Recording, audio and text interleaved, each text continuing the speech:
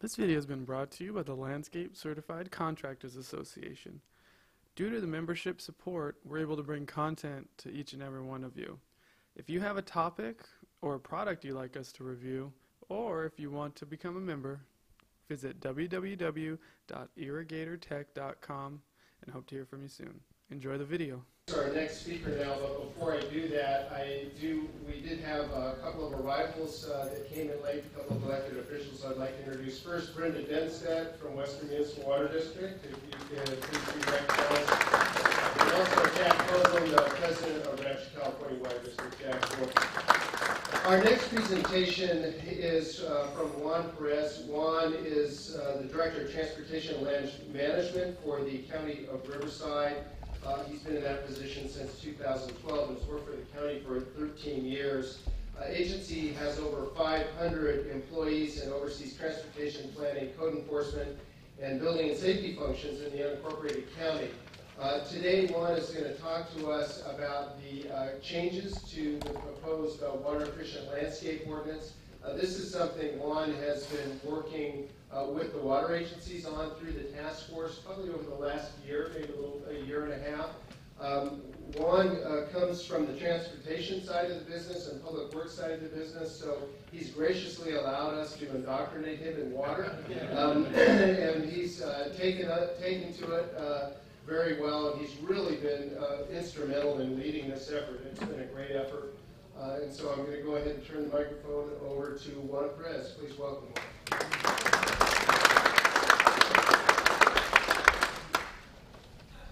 So thank you, Paul. Uh, Good morning. Thank you all for coming out. I have to disclose, back in the day, uh, before I worked for the county, I worked for the city of Hemet. And uh, we did have a a water company at the city, so uh, although I'm not uh, completely new to water, certainly it's been more and more of a focus area for us. So I have to say, Bill, probably, boy, that's a hard act to follow. That was the best uh, macro level presentation on water I've probably seen.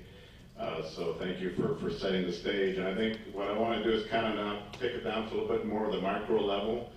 Uh, Very micro in some cases, you know, micro tubing and, you know, spray heads and those kind of things uh, that we're working on.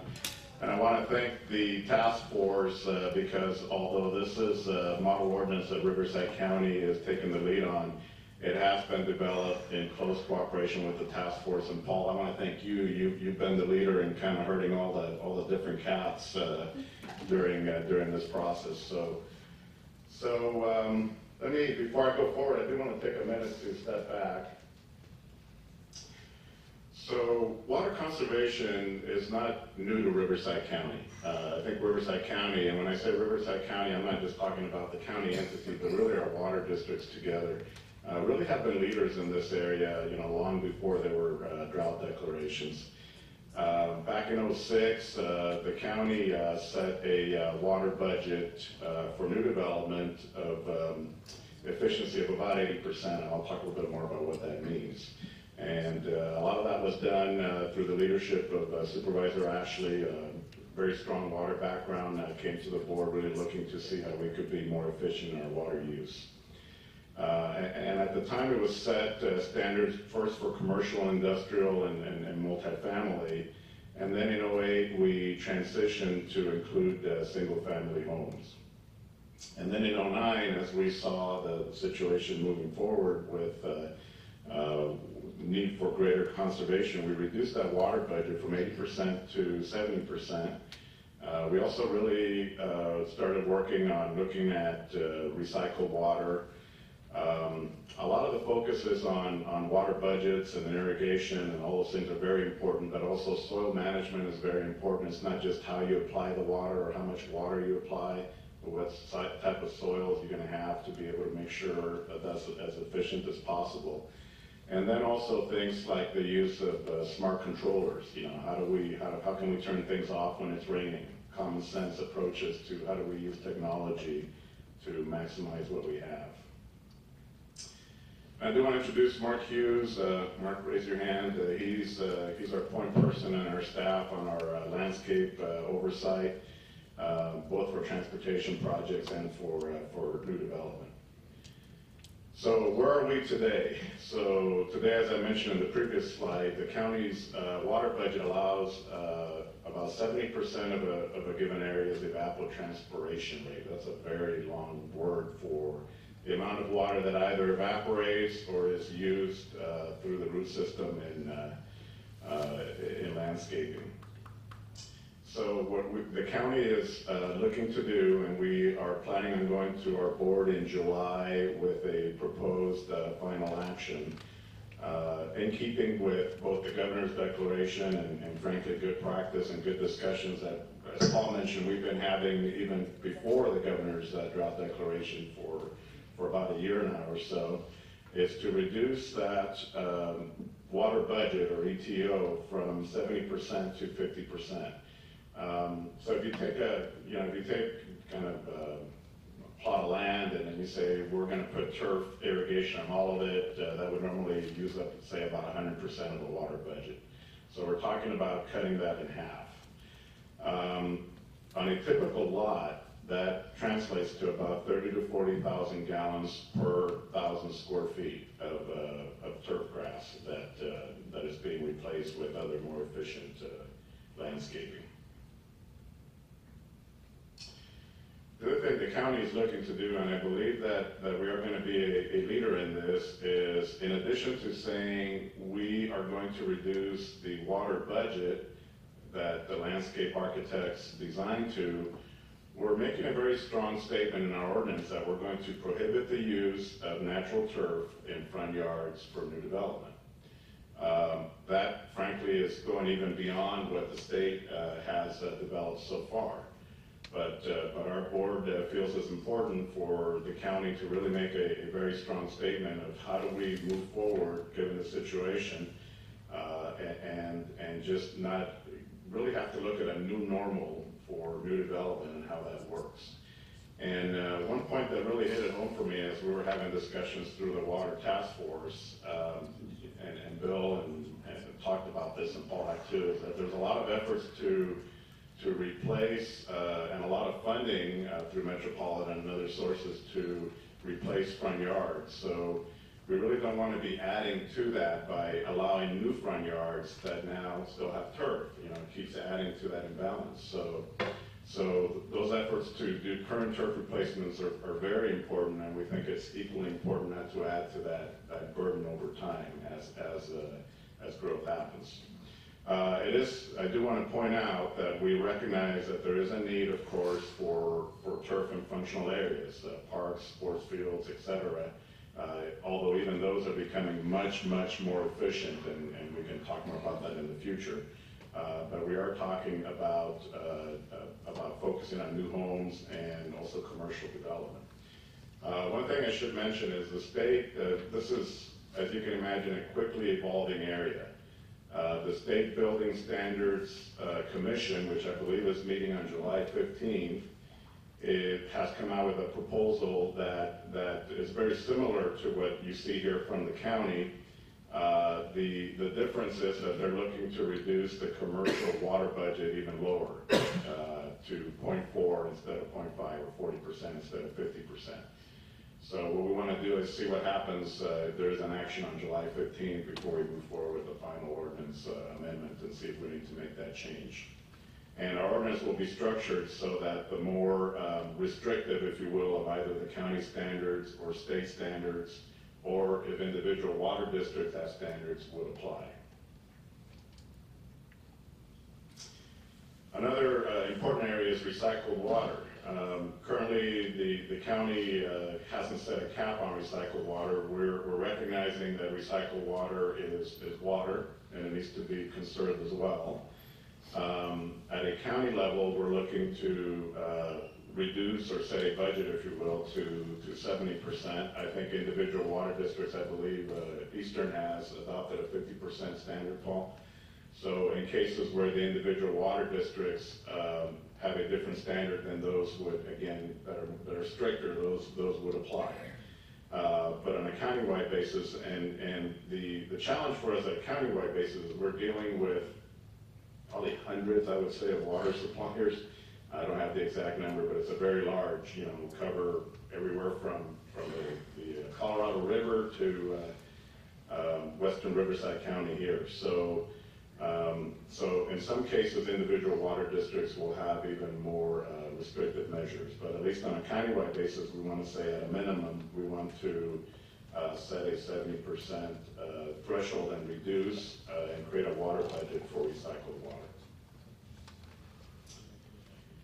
So, in addition to these water budgets, and we talked about it, affirmative statements like, like prohibiting uh, turf and new development front yards, um, we are uh, also saying that uh, for commercial industrial projects that really should, uh, for the most part, should not have functional use. Functional use is where, you know, you have a need for turf or a playground or what have you. Um, we are, are really going to uh, discourage that and, and not have a new turf or new commercial industrial development. Um, and we're putting uh, an affirmative statement also in our ordinance that uh, we're not going to be allowing new turf in medians uh, or parkways. A lot of the, and the parkways being the area between the, the curb, if you will, and the block wall or the side of the road. Uh, the, the, uh, and again there, I think the county is going beyond the state because the state is focused on medians. Uh, we really have been ahead of the game as far as medians go. Uh, back in about '09, uh, we stopped having turf on medians. Uh, I'm a road guy and I don't like turf on medians because what happens? You got to irrigate it and then guess where that water ends up? It ends up on the road. And then we got a deteriorating road and now we got to pay not just for the water but for the road. So it's just not a good marriage to have turf medians for a lot of different reasons. So we stopped, uh, we stopped that, but now we want to make a very uh, affirmative statement that not only do we want to not have it on medians, but also on, on parkways. And if you can see some examples there, uh, you can do extremely attractive uh, landscaping. Uh, many of many of you drive through through the desert communities. Uh, just beautiful, gorgeous landscaping can be done. That's very aesthetically pleasing without having turf.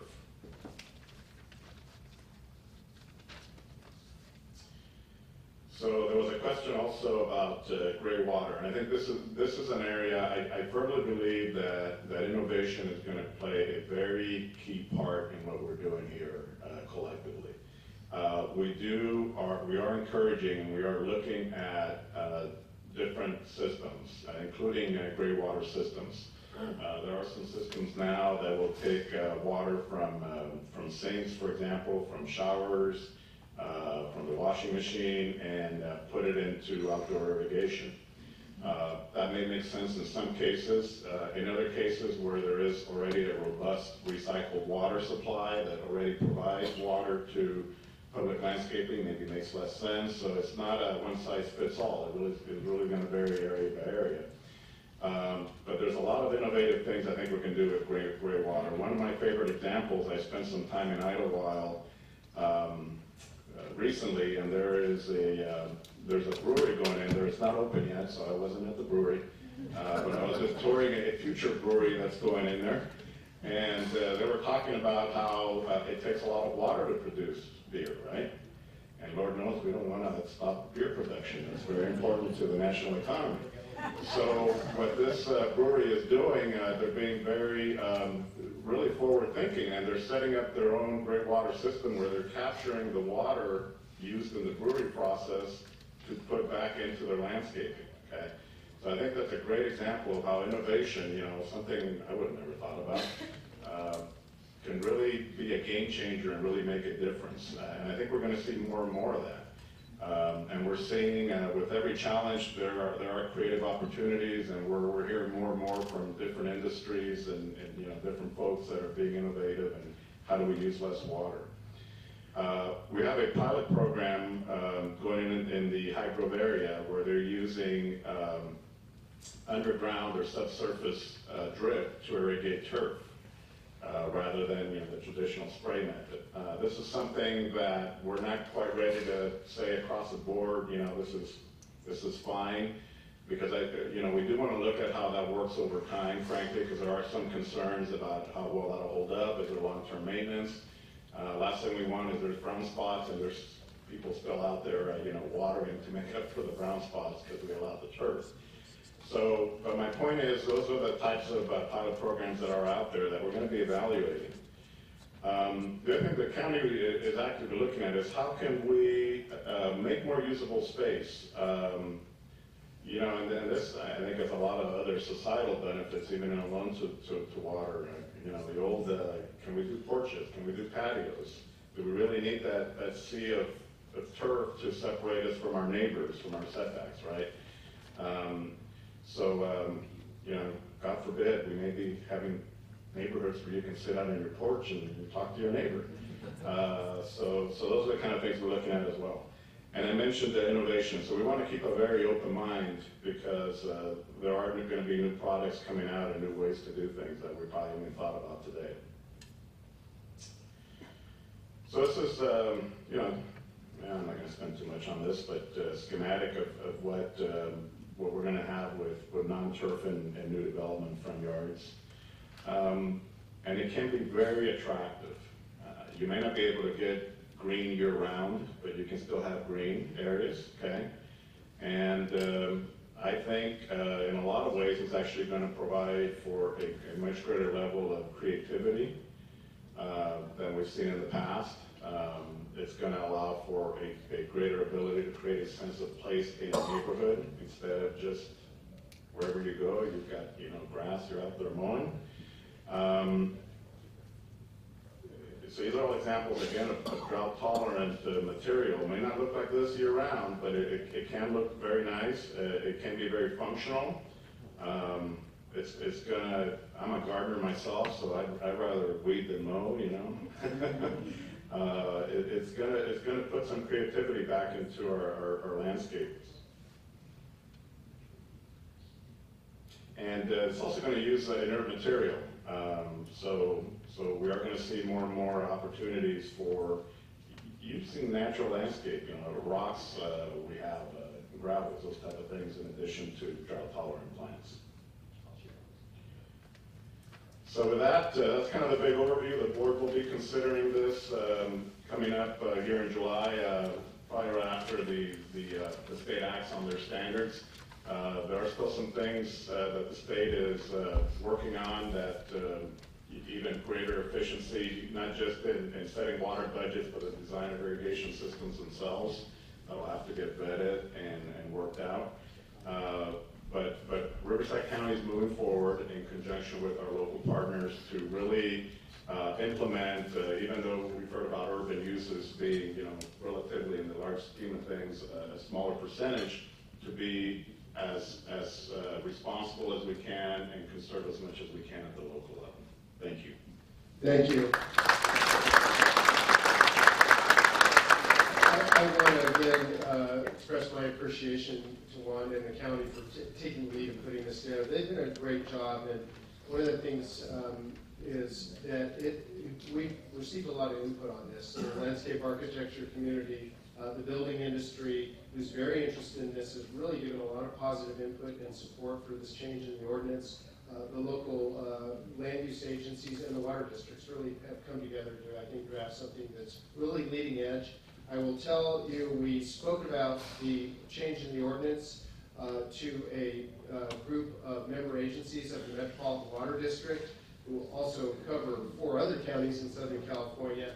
And we're considered uh, kind of at the leading edge right now, and they're looking at our draft ordinance and considering making uh, similar changes at the county level in other parts of Southern California. So I think it's something you've done a great job on, thank you very much.